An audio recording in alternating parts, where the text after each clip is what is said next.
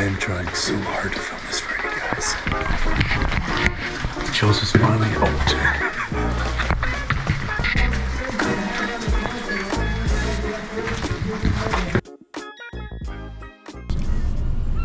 Look at this dog. He wants our food. This dog's just grilling us right now. Like hard. like so hard right now. He can smell our food. What up, dude? I'm gonna name you Timothy. Peace out, Timothy. You look like a Timothy. Good morning, Mendz family. So we pulled up to the Miners Memorial Park, and it's a museum. A haunted. Yeah, it's Sorry. supposedly really haunted. There's this mine inside that's supposedly like super cool. Yeah, you get to actually Um, go do a tour of it. It looks pretty nice here. It's cool so far. I like. It. We had a really good morning because we were greeted by this dog Oh, that was just grilling the crap out of us just right outside of his and then SUV. it was the best part because just before we pulled into here, I got to see a massive Saint Bernard, which I don't know if you guys know, but I have a Bernese Mountain Dog, and they're like brother sister type thing, Saint Bernard Burner, and he was so handsome. Made yeah, my he was pretty cute. So we saw two dogs, which was pretty nice. We're animal lovers. Yes. Um, but uh, yeah, right now let's actually go in. They're open now, right? we Yeah, they didn't come at 10. before. At Knock 10. on the door and everything. Let's look at the park uh, first, though. Whoa. So yeah, I'm really excited. Apparently, I was looking online, and apparently, like some of the old miners who used to work here give the tours, which is super cool because then you really get like a life experience and a life story of what Yeah, happened what? here. was going down. Apparently, we reached out to them and we are trying to schedule something because the mines are like legitimately haunted. So, Yeah, so we do have permission to film an investigation here. We won't be doing it like now because we're And- super jam packed Yeah. this weekend. I think we're gonna try and film this for like the Halloween season or September. so We're gonna, good, yeah. But other than that, it's a pretty nice morning. Not too much going on, and it's kind of like a relaxing morning. We're not doing too much, but kind of thought we would all kind of hang out, check out this uh, museum. What are those? They're little lunch boxes. Or they're little boxes. Oh, these are statues. These must have been a memorial for the people who passed away. That's sad. You can feel the energy, like the sadness. Yeah. They were in a healthy place, son. What? A lot of them, like, it wasn't a healthy place. Mining A lot of the times, my grandfather was a miner and got lung cancer at 49 years old. My um, best friend's grandfather mined in this mine. In this one? Yeah, he's Oh, from no here. way. Yeah. Yeah. Whoa. Yeah, it's strong in here. Whoa. Yeah, very strong. A lot of emotion. A lot. I love to go underground and uh, I've never go out on the ocean. Whoa. Or climbing. When somebody last got help, Calvin, you So we just made our way into the exhibit. We're just waiting on our tour right now. I don't know if I'm able to film it though. We can, I, I don't see why not. Just as a heads up for you, the mine is only five foot. Yeah, I might have six, to duck. And then it goes down to four feet. So we will have to. So you're good. Um, you don't have to duck. But I'm gonna leave this recording. I'm kidding. I'm not four feet. But yeah, I'll leave it recording and see if uh, you know that will help. I probably won't be able to talk that much. well, But we'll see. is gonna be mostly Yeah. talking and stuff. I was talking to one of the workers up there, and he said that there are stories here that not a lot of people know. There was a lot of, well, I mean, I'll just let him explain it. But what are these? Oh, cool. Are you okay? No, I'm like feeling so much of their emotions. Like so much of their emotions. This is the explosion. The painting of it. Oh yeah, there was an explosion here. Mm-hmm. Pictou County Nova Scotia. Wow. Oh yeah, that was another mining disaster. Yeah. So there were 26 miners here that passed away in an explosion. I think it And was 13. 13 Yeah, out of think- 26 miners? No, I, I think this one. Yeah, killing 26 miners. This is the Pictou County. We're not in Pictou county. Oh. There's another one that happened close to my parents' house. That Yeah. 26. So I guess he'll just redefine everything. Yeah. Whoa. So this is an oil lamp. The handle of it. Carbide lamps. Wow. So I think the explosion happened in the 70s. I want to say. Like I said, the tour guide is gonna redefine everything and tell us exactly what happened. Whoa. Multi-shot battery. Used by the shot fire to set blasting caps off, which in return blasted the coal.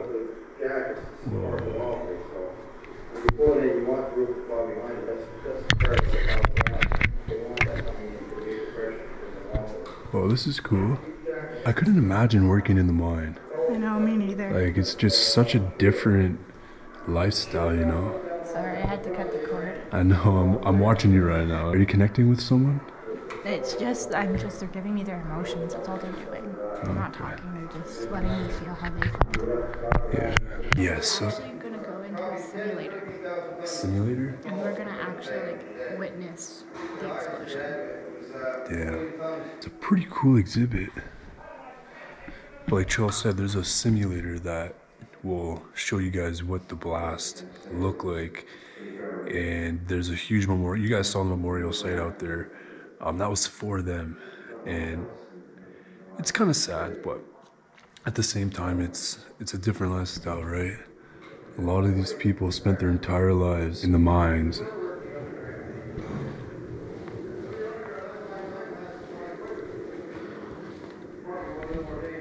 Wow, look at that, all the helmets and stuff.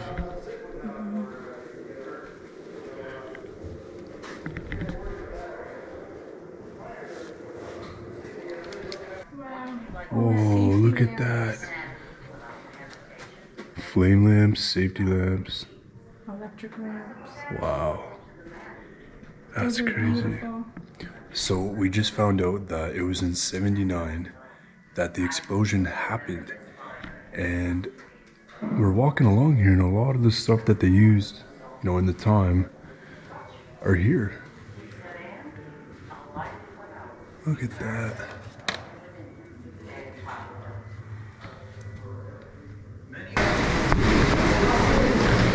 All right.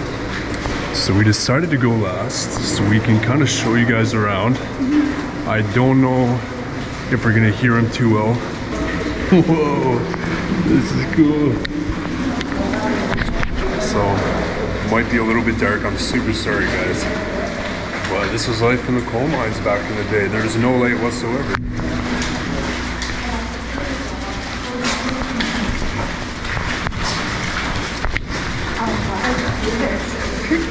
I know.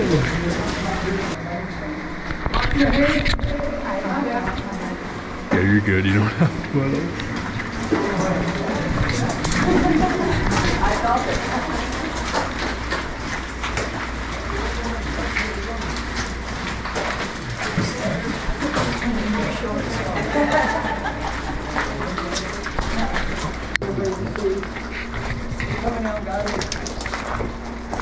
Let's right on this wall. You see, this is the coal seam in this house. This coal seam starts here at the roof and it ends at the bottom. This coal seam is 52 inches high. The height of your coal seam dictates the height of your mine. In Cape Breton, we got seven different coal seams. For every 400 feet, 400 feet you go down, you will encounter another coal seam. Their smallest one is 36 inches high, and their biggest one is 14 feet high. If this coal seam is 14 feet high, this roof would be 14 feet high. Eight feet, eight feet. The miners only got paid for taking the coal. They don't get paid for taking the stone up here or the stone down here just to make it easy to work. As you notice, coal formed on the seams, always on an angle. You keep chasing the coal, you keep chasing the coal, chasing the coal, and that's why coal mines become so deep. But as you're chasing the coal, the further you go down, the heavier your roof gets. It comes to a point when you can't support your roof, that is the end of your coal mine. Can build under the ocean, we use hydraulic jacks, German hydraulic jacks. Whoa. Holy crap. That's crazy. As if you're not able to duck in this. I'm like bent over so bad right now. And Chelsey's just walking normally.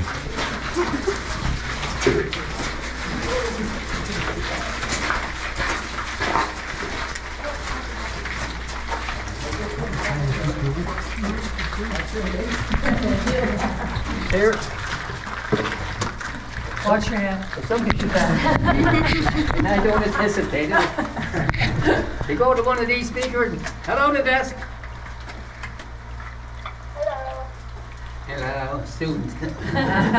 I got pushed out. Anybody else? Nope.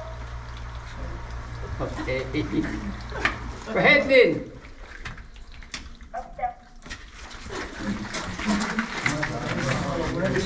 I'm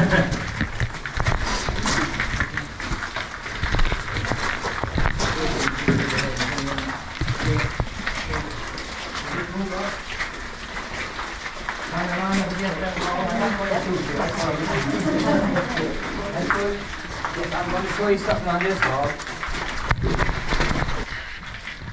I can't see. Okay. Seam in this mine right here, nice shiny black coal.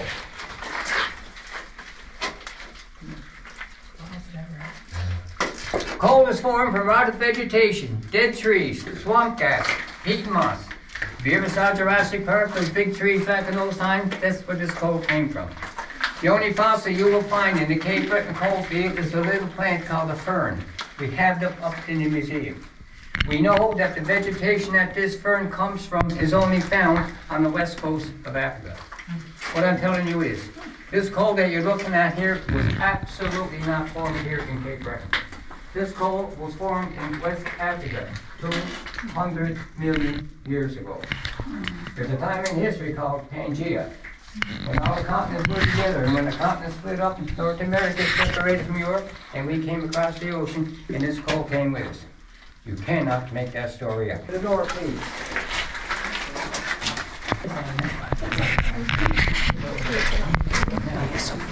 My boy, but the eight, ten-year-old boy, this is where he will work. Again, no electric light, and this place is not nothing. You sit there one day, and it's a on the top. Really? Only lunch you have is the peanut butter and jam sandwich that his mother made last year, when the young girl standing there. And I hit my leg and I touched her leg and touched. Yeah, okay. She dropped, picked me Like right hitting my head up on here. Laying on my back, looking up at her, she had spots coming out of it. And she said, don't you ever do that again. I said, ain't that's my problem. No rat unless it had to. Why? Because rats kept the mine exceptionally clean. Anytime you had that last piece of food that was dirty, you didn't want to eat it, you threw it out the minutes, it was done. The rats was over. The only time I was, rats had me nervous is when the mines were shut down for three weeks due to the miners' vacation. There's only barely, maybe, Another gentleman asked me, why is all this coal left behind?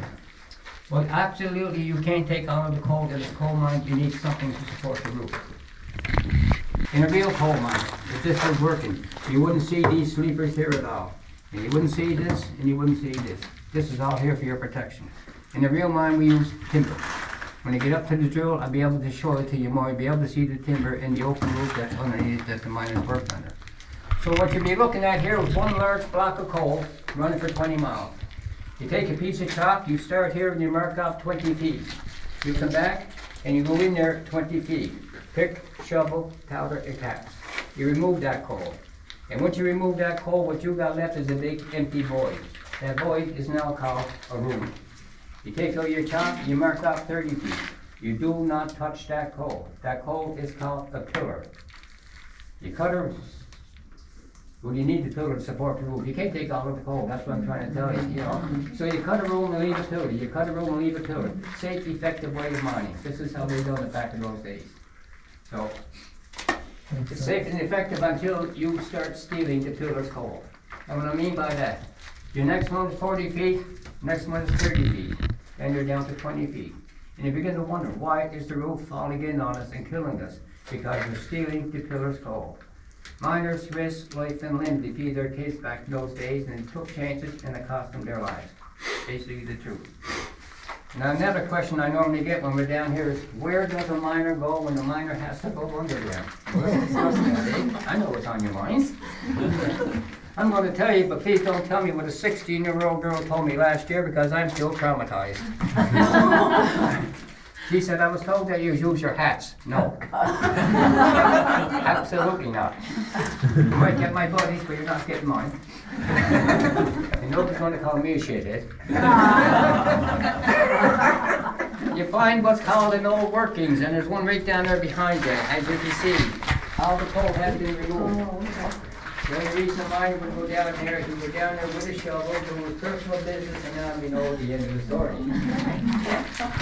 I am trying so hard to film this for you guys. Joseph's finally. Oh. Can't see. Oh, yeah. Oh, Mark, can I put the light here? Oh, wow. Oh, no worries. Oh, great, thank you.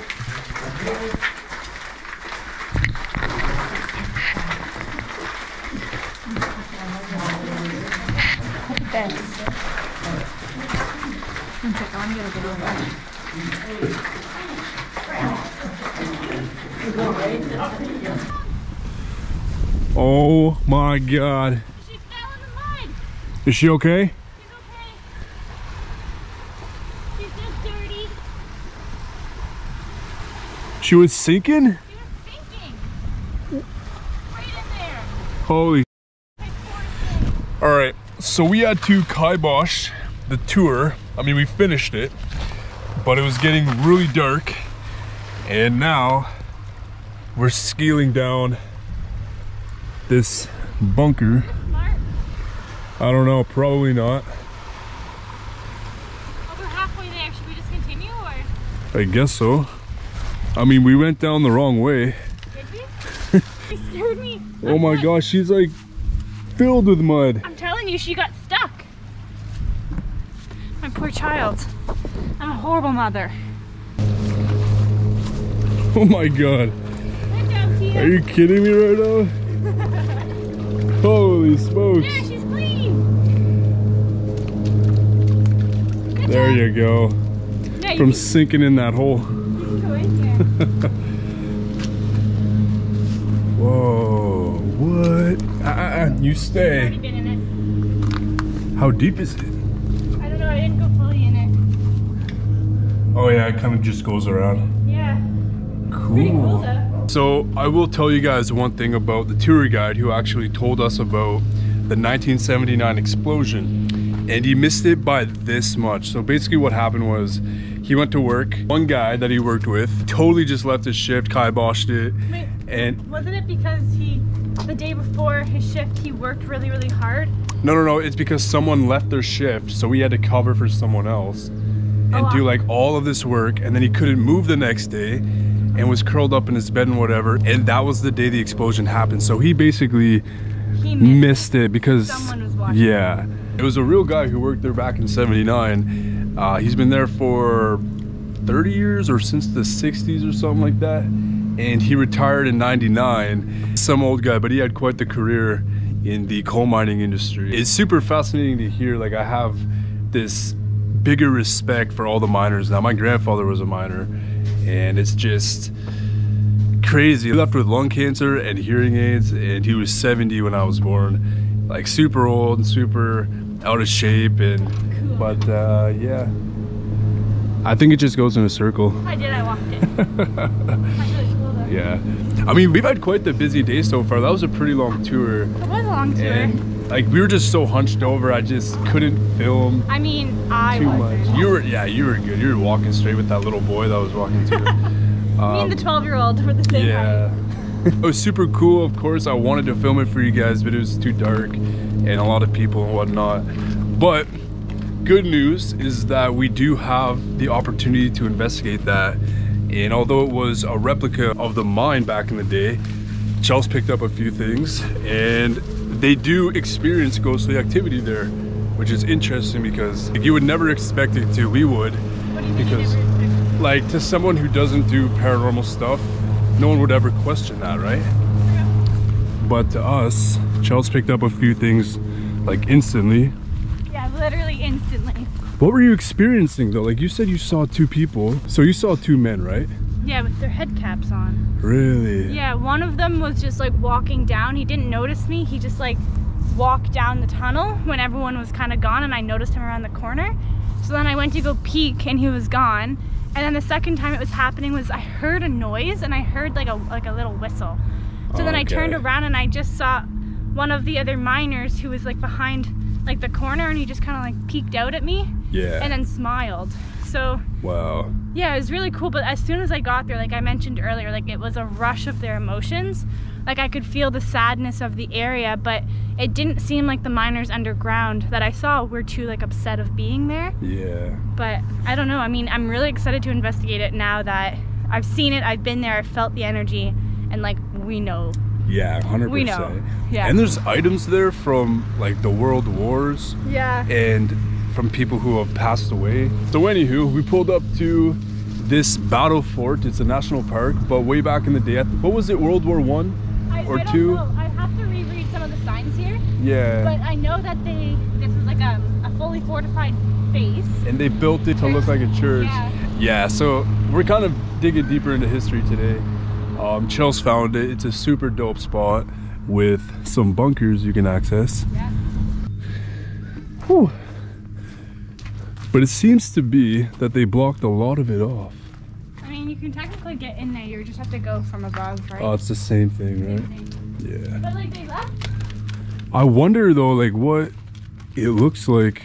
Yeah, that's deep, huh? That's also really disgusting water. Oh my gosh. Can you go in the window here? Yeah, you can. Oh, I just gotta push it open. Eh? You're crazy, Kia. You're crazy. Awesome. Wow. Let's see if we can go into the museum. No, Kia, I don't trust staying in water. Sorry. Oh my god. algae here, and I'm not risking it. Yeah. So that's what we're doing today. We're just kind of kicking it here. Thanks again for joining us on another vlog, hanging out with us on a different day. Oh I just find it so fascinating how there's so much history So here much with history. the wars, the coal mining here in Cape Breton. The coal mining was super big. And back in the day, I didn't know this, but the guy who was doing our tour said that they needed miners from like Scotland, England, from all over the world to come here because the coal mining business was so big. So you had immigrants from like all these different countries Yo, and tunnels. everything. And what? There's tunnels. Where? Oh yeah, hundred an escape percent. vent. Yeah. That's cool. These are all tunnels. Yeah. So under us right now, there's probably a huge system. Okay, how do I get in? Well, you just cut the bolts. No. with bolt cutters. Kia, you want to explore some haunted bunkers? Yeah. Wow. That's incredible though. Did it get shot at? I don't know. Kind of looks like it did. I mean, it's pretty old, so it's not in the best of conditions. Yeah, so it's called Fort Petrie Museum. Apparently it is open. Entry by the. Any cash on us? No, but I have I have card. I don't think they'll take cards. Oh, oh well, that's all right. I've just never seen anything like that. Like it does look like a church from afar. Yeah, it does. Oh my god. Isn't she beautiful? Look at that masterpiece, babe. Woo. Isn't she just gorgeous? It's absolutely stunning. Jeez. So you're saying that's been abandoned for how long? I don't know, but a really long time. But they are Oh. trying to restore it. Only thing is, I don't know if it's like too far gone. Is that from like the 1600s? I don't know. We have to That's from like the second day Earth was created. literally. Oh my gosh. I wonder what it looks like on the inside. Damn. Yo, what's good, Key? My god, did you hear that? Some like kid dying of torture somewhere. Yo, Key, you hear that too, huh? Where's that kid coming from? Was that you yelling? Yeah. Some kid getting like Nah, it was me, man. I got scared by a pigeon. yeah, that was you. You ran all the way over there Yeah. to just scream like someone was chopping off your head. How did you uh, do with the photos? Not so well. No, It's tricky. we literally came all the way to Cape Breton so you can take photos of this abandoned house, and it's you didn't get any. anymore. No, I know, but it's it's technically abandoned. Technically, I don't think anyone lives in it right now. I mean, they're doing renos on it clearly. Yeah. I mean, who knows? They might have given up on renos. Why don't you go and try and get in? No, I'm kidding. Don't do that. The windows are new. Um, it's kind of like a misleading house though because the front of it looks really Victorian style, right? Like really old, but the whole siding is like it looks New like a and modern. Modern. Yeah, I noticed that on the way up. It kind of. I don't like know why they do ruins it a that. bit, like if you honest. have, yeah, see the top, they're like redoing it with like new siding. like I, I think that like I think Like- that top of the house is new. That's what I mean. Like the Let's- top of it right there. Let's go on maps. They're like by the looks of it, they're trying to, or they're probably gonna do the whole siding of it. I really hope like that, that. they like restore it and don't modernize. They won't. Like people that are buying these houses now aren't doing that. Let so I check. highly, they're gonna turn out to be like that. These are all probably These old, all, yeah. you know, 1900s. Okay, so let's see. On Google Maps, No, eh? They're redoing. it up. Yeah, I know. They're ruining this house. A thousand percent. Because if you look, sorry, I'm not going to show the address. But if you look, the top of the house wasn't that new. Sh- it was the same shingle as this, same as the side. They're completely stripping it and replacing it with ugly siding. Yeah. Like I get it, the shingles are probably way long gone on the side, and it's like all new siding. Like it, why? Like I'm sorry if if you're into the modern stuff. Like I'm not gonna judge you for it, but why buy this house and then start to strip it and turn it into a modern house? Yeah. You know you can't buy an old See, Victorian home. here's and where I stand with this, okay? If you buy a Victorian home, especially like that. a super Victorian for what it looks like, a super Victorian where I mean like the house definitely needs a style of its originality, you know what I mean? Like it needs its original look. Yeah. If you buy a house like that, it needs to be original. You know, Keep it this it's an unwritten rule. A lot of people like to modernize their homes. That's fine. But come on, like you gotta have a little bit of taste. You can't buy an old house. That's why you buy a modern house to redo with modern stuff. Yeah. You know what I mean? And now That should be. a- that's just me. Honestly, like I think that should be a rule. If you're It gonna buy a house from a certain age, you are not allowed to modernize it. If you are gonna buy a house, for example, Just my buy a parents, modern home for example, my parents' it. house is 1912. Okay, anything in the early 1900s or 1800s or earlier than that, you should not be allowed to touch. In that sense, you should be able to renovate it, but you have to restore it. Yeah. That's just my opinion. Yeah, I I, could mean be wrong. Yeah. Goodbye, you ruined the house. It's alright. I mean it's their house Yeah. at this point. But I mean we don't say that because we want to, you know, shut anybody down. We know a lot of people do this stuff, but It's just it like, should be like if you're gonna modernize something, modernize a modern home. yeah. You know, if you're gonna redo a historic house, redo it in a historic way with like not necessarily historic things. Like you can't really get cupboards and all that stuff. No, no. You just like in the style, you know what I mean? Like the style Yeah. has to represent. That's just me personally. I, I just mean though that like there aren't a lot of historic properties left, or there aren't a lot of houses that are Victorian and are, are like they're not built like that anymore, right? Yeah. So how I see it is like there's only so many left. We should really try to preserve them Oh yeah. instead of always turning it into a new modern house. Yeah, hundred percent. That's just how we see it. I mean, we're big history buffs and we love that type of stuff. At least it's being fixed up and not demolished. That would be. Yes. That's just like the worst of the worst. I just hope they keep the turret. yeah. So, All right. anywho, we are probably gonna head out. We have um, one more place we're gonna stop by, and I'll probably do another vlog. Lots has happened today, and we do have some filming tonight, and you guys will see what happened in our previous video. It might actually be out already on the main channel. I don't know, but um, oh, something's in my throat. But uh, yeah, keep it on the main channel. I know I haven't been posting the past few days, but we're still here in Cape Breton, so honestly, we still have so much to explore, and we'll do as much as we can. So We'll try to show you guys as much as we can without like without it being like a four hour video. So yeah, we're gonna end this off here. Thanks again for hanging out with us Always on another pleasure. video. This is our um this is our daily vlog channel. So what we do on this channel is everything that insists of the paranormal, our daily life, behind the scenes stuff at certain locations, gaming, uh, fun stuff, just our traveling and all that stuff. So if you guys are new, this is what happens on this channel. Um, This is really good. yeah, that's good. Yeah. You're also driving you. on the wrong side of the road. I'm still parked. Mm. I'm parked now. Do you actually think we're in Sydney, Australia, eh? Because you're driving on the wrong side of the road? Yeah, I'm just straight up just driving on this. It's alright. all right. Alright. Anyways, we're gonna head out. Thanks again for tuning into this video. We love you guys so much. And like I say in every vlog, we'll see you guys in the next one. Peace.